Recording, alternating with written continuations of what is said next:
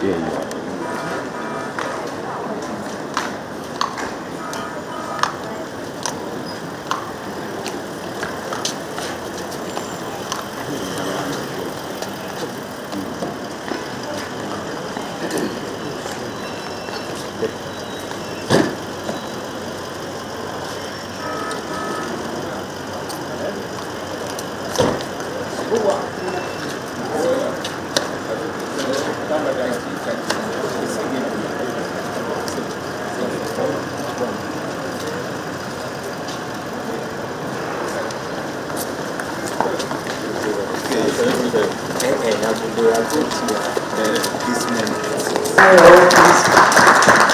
I want to welcome our leader of the Right Honorable Joe Ssenyonyi, the Sekes. Let us welcome the Chief Opposition Whip,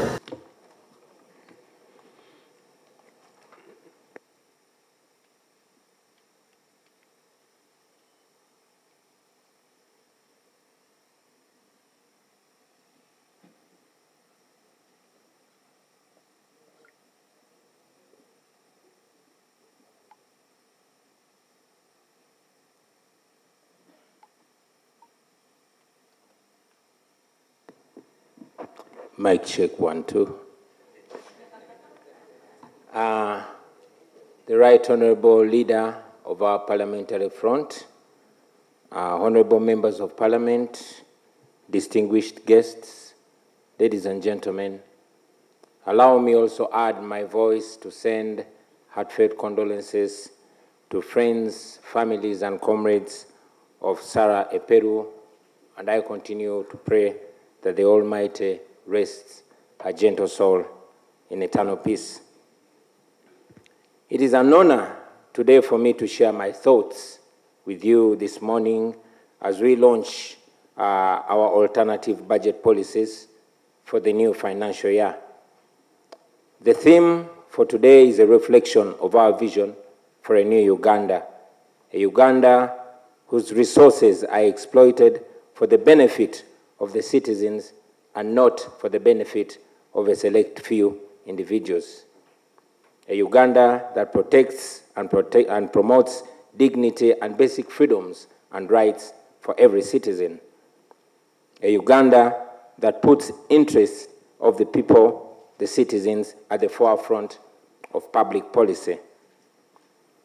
The alternative budget priorities presented today recognize the plight of the ordinary Ugandan whom the leaders derive their mandate from, and also paint a clear picture of what we intend to do in order to make Uganda a country that works for every Ugandan.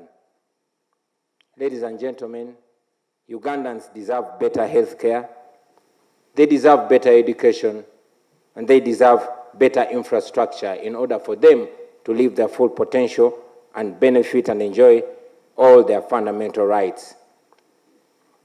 Because education is essential for producing skilled workers, a workforce that will transform communities, it's therefore important that our children study subjects and courses that are relevant to their passion and natural abilities. We cannot achieve without changing, we can't achieve this without changing or, in fact, overhauling our entire education system and realigning our education institutions. Considering that 75% of Uganda's disease burden is preventable, then we must make our priority to invest in disease prevention rather than disease cure. This should be done in addition to hiring skilled and professional health workers through a fair recruitment process and go ahead to remunerate them fairly and on time.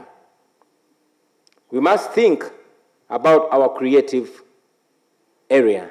Think about our creatives, provide conditions that don't only protect their intellectual property, but also create conditions that help them to live to their full potential. About the creatives, I could go on and on and on, but the rest, I guess, Dr. Hilderman and uh, others who are creatives and within our leadership will elucidate on that. However, ladies and gentlemen, as attractive as all these alternative policies might be, it is actually impossible to achieve them if the leaders in charge of our national resources cannot rise above their petty selfishness. We must resist, we must reject, in fact, we must eject all forms of corruption in public administration. Otherwise, all this will be going to a waste. Our sources will continue sinking down the long drain of personal greed at the expense of our collective well being and at the lives of our people, our children, and our children's children. As a national unity platform, we shall continue to take decisive action in that regard.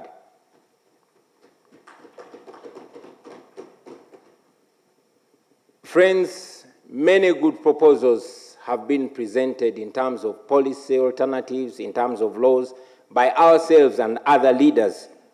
But let us be honest, no matter how good our thoughts are, no matter how beautiful our proposals are, they shall never see the light of the day for as long as dictator Museveni is still in charge of this country. That is my firm belief. Yes, we must continue telling Ugandans the truth as it is instead of, you know, misleading them with eloquent speeches. We must paint to them a picture of the problem and indeed go ahead and point at where the problem is. The man who has ruled our country for almost 40 years now is not just a political opponent to us, no. He is the embodiment of Uganda's problems. He's a living testament of corruption. He's the testament of oppression. He is the embodiment of the abuse of all democratic principles.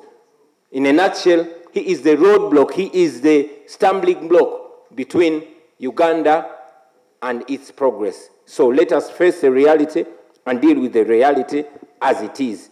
It's until you diagnose the problem that you'll be able to deal with that problem.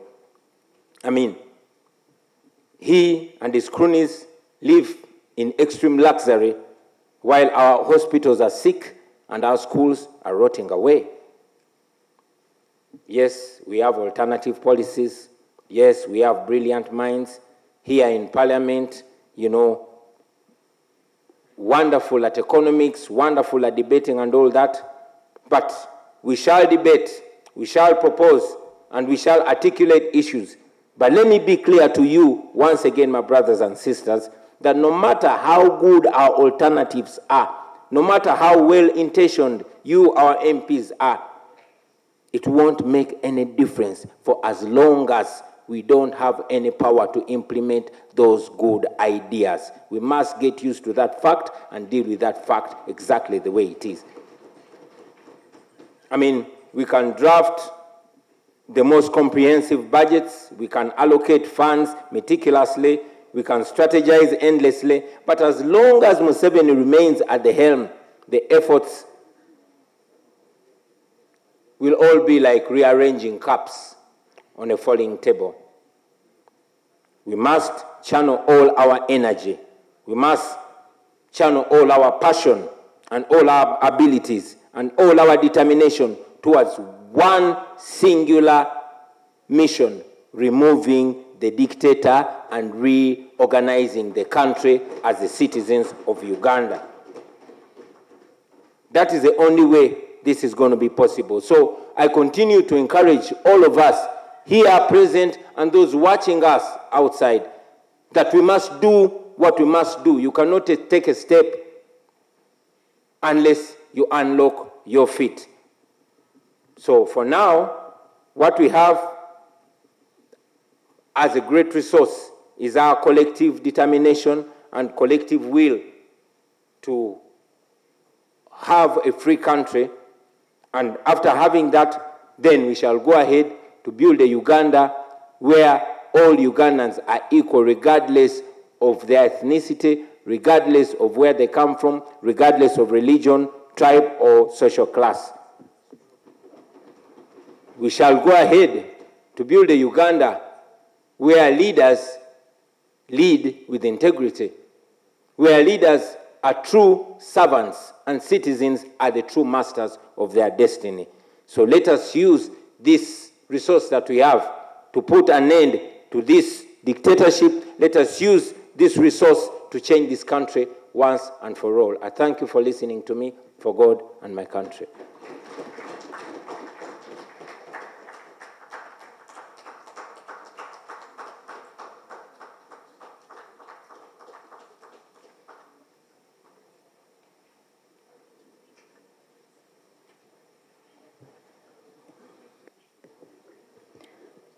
Thank you, Mr. President, for that very elaborate speech. We also thank the Leader of Opposition for his speech to us all. We believe we have taken in what we have been told. Now, allow me, honorable members, to invite webale nnyo okusooka neebaziza liida waffe uh, wa ttiimu yaffe ya parliament right honorable joel senyonyi ne ttiimu yonna gyakoze nayo okufulumya bajeti yaffe eno etali ya etali nnene nnyo naye ate ng'efokasinga ku bintu ebiyamba abantu ng'egoberera n'omulamwa ogusitula eddembe- ly'abantu. Eddembe ly'abantu si kweyagala bweyagazi naye n'oku enjoyinga oba okunyumirwa oba okweyagalira mu bintu ebyo bye basaanire okweyagaliramu mu mateeka.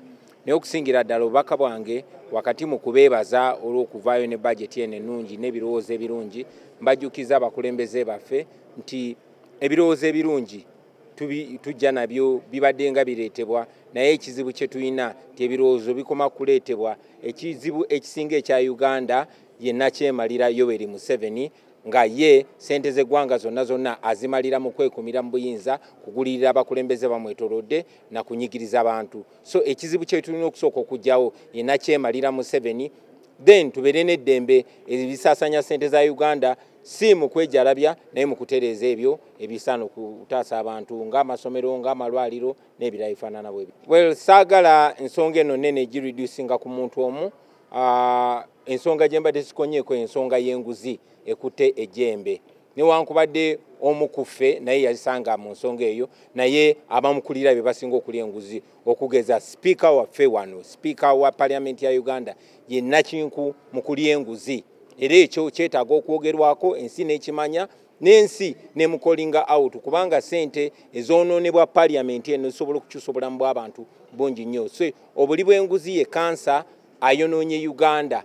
Kati kyafuuka institutional enguzi yafuuka ngeri yakwekumira mu buyinza nangeri yakukakanya abavuganya gavumenti. So enguzi ng'ekulemberwa anita amongo sipiika wa wano nomu nga mulimu si bokaboka ba nrm naye nga mulimu n'abaffe kizibu nnyo era nakyo tulina okirwanyisa ate tujja kirwanyisa. Ffe nga nup tujja kukola kuko- kukozesa ebikolwa si bigambo.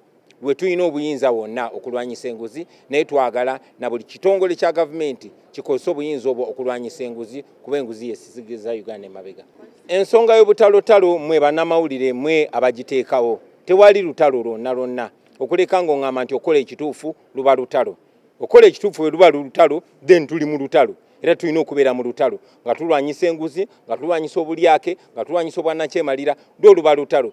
So si mu kibiina kyaffe nze ndowooza mu kibiina kyaffe twandibadde nga ekyokulabirako. Buli muntu kabeere nga sipiika wa paliamenti yalidde enguzi kabeere nga minisita n'akangavulwa nga bwe kirina okubeera. Ffe nga nup tubawa kyakulabirako tuli option era mu uganda empya bwe tubikola bwe tujja obikola nga tumaze okugoba nakyemalira saagala nnyo kukendeeza kwogera kwange ku- ah, kukukakanya ate kussa ku bammemba bange benkulembera mu kibiina. Njagala nnyo njogere ku nsonga ezigasa eggwanga lyonna.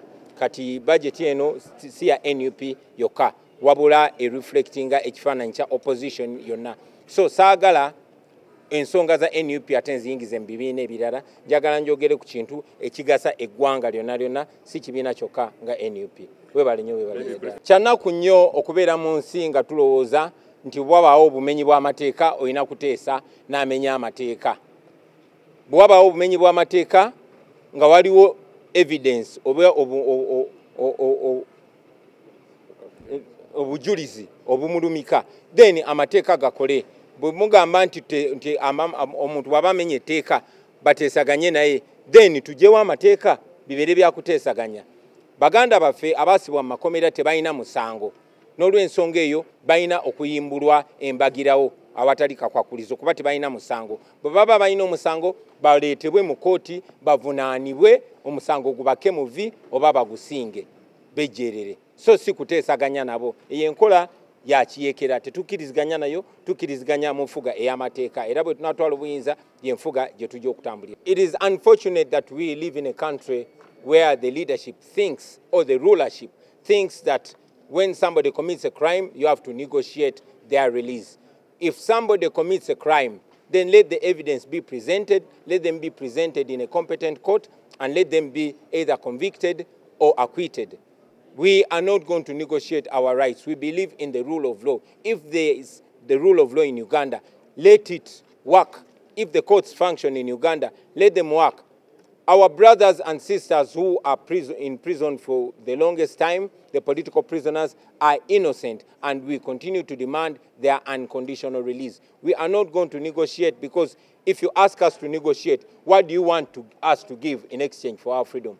Bw'oba oyagala tuteesaganye n'omuntu ng'akutte baganda baffe nga tebalina musango oyagala ffe tumuweeki atuwe baganda baffe? Kubanga kibambasibira ddembe lyabwe ate eddembe lyabwe eryo si beetegefu ddiwaayo ne bwe banaateebwa bajja kusigala nga bayanira eddembe lyabwe. So si lyakuteesaako naye lyabwe ebange kuba constitution erigaranting well everything we do we do it in the open. We are a transparent political party. And what happened was in public. The information came from the public domain and we dealt with it as our morality levels permit. The speaker is a criminal herself. The speaker is a criminal, so we don't really have time to exchange with criminals. Thank you very much. The so-called internal conflicts are a creation of the media. As you have seen, so many TVs have been on, out, you know, on rampage, trying to create a non-existent uh, impression that we have conflicts. No, they're not conflicts. The only conflict we have is with criminality, is with corruption. And we deal with corruption uh, as people that know that corruption is a cancer that has bedeviled our country. Thank you very Maybe much. last Well, we major on majors and minor on minors. Thank you. Thank you very much, Honorable. First of all, I'm so sorry. I must apologize. You see, we senior citizens, we have so much, and forgetfulness is part of it. so I remember Friday, a lady rang me over Thursday or something and said, We want you. I said, Hey, what is it? Budget? Oh, okay. I'll see. Now, since morning, uh, that was off the head. And then around 11, he said, Where are you? I said, My goodness, who are you? He told me. He said, When are you finishing? Said, 2 o'clock. I said, Okay, let me at least appear. so I'm sorry that I came late, and so I have not heard this whole thing. Uh, but I want to say that I was very happy to have been invited to, to, to come here to, to listen to what you are saying. You know, many people, me, whichever party, whoever calls me, I go. I'm a senior citizen and I'm a Ugandan. It does not matter where what, I'm a Ugandan as a senior citizen. I'm interested in Uganda as a nation and Ugandan people. So when NUP calls me, I, I come and I'm very happy to be there. I wish I was here to listen to everything and then say, oh, so this is the alternative view. I want to thank you so much to ensure that you really offer your alternative view because what is democracy?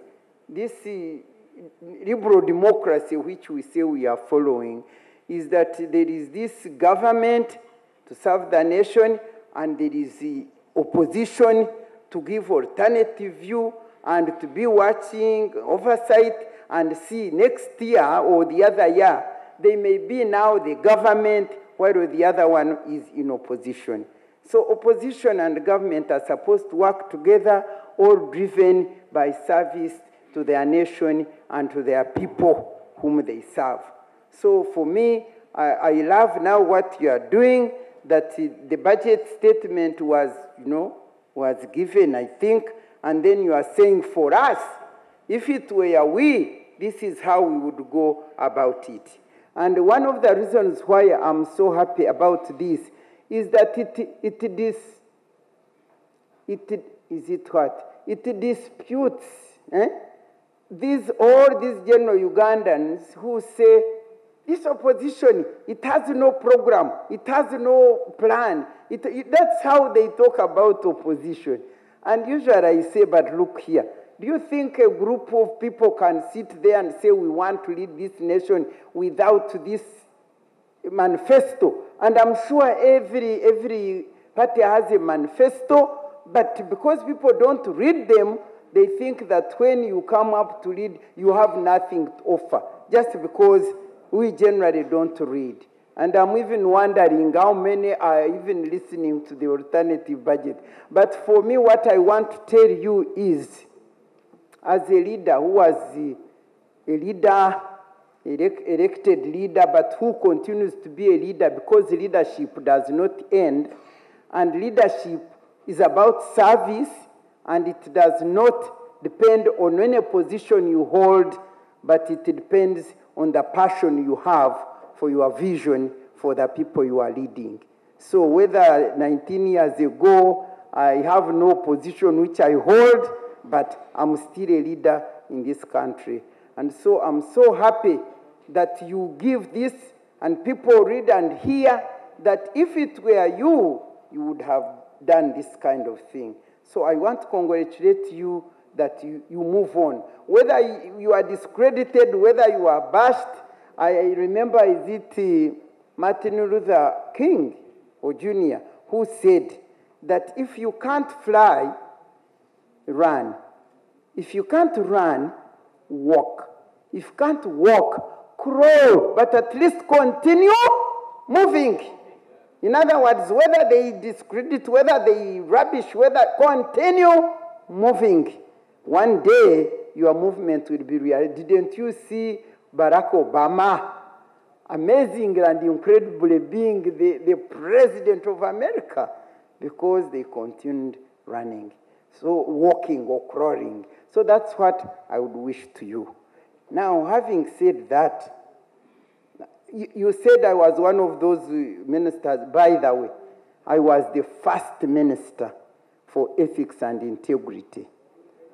19, I was appointed in 1998, but because of my integrity in the environment which does not want integrity, I didn't stay long. It was, I didn't finish even five years. Because I stood my integrity, I was thrown out, and thrown out completely up to now, 19. because of my integrity. And whatever they try to say, Kaka, I say, my integrity does not allow this. And so, when you say you are uh, fighting corruption is your priority, I say, well, that's good. But as I stand here, I stand here as a senior citizen, as a Ugandan.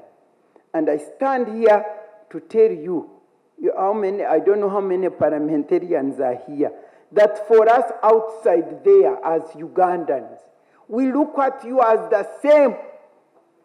We look at parliament and see those terrible people. They are robbing us, they are grabbing us. So, my challenge, which I throw to you, is that each of you who is there is to distinctively stand tall, distinctively stand tall and show that for you, indeed, you are opposing these corruptions, these unethical conducts, these what? Stand there distinctively showing that what drives you into that parliament is service. Service to your people.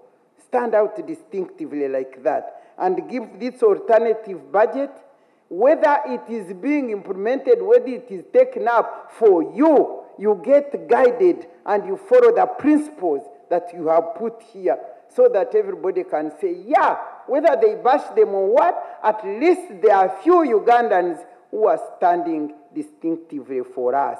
And because of them, we shall overcome. That is what I want to tell you on behalf of Ugandans. Because we really feel these people whom we chose to serve us are not driven by service. That at the center of your, of your, of what I call leadership, rather than being people centered, is self centered. Rather than being service oriented, it becomes power oriented. In other words, you find that yes, you are in this leadership, but you are driven by self centeredness and power orientedness. And yet, a leader should be driven by people, should be people centered and service oriented. I'm so glad that I'm in a, um, I've been, I stood here as a senior citizen to tell you that kind of thing so that you get to know that for sure, for sure, where our country has reached, it needs liberation, it needs redemption. And for us, where we are, our eyes are on God, of course, but God does not come here and work. We believe that that God can work through you and bring things to, to a better way. And so I want to thank you and I want to encourage you and stay tough. Have you, have you ever seen me ever shaken by anybody? Eh? 19 years. I worked for 30 years, good 30 years for this country. But when I said no, you can't remove the term limit, I was thrown like in the garbage. No pension, no gratuity, no not, nothing.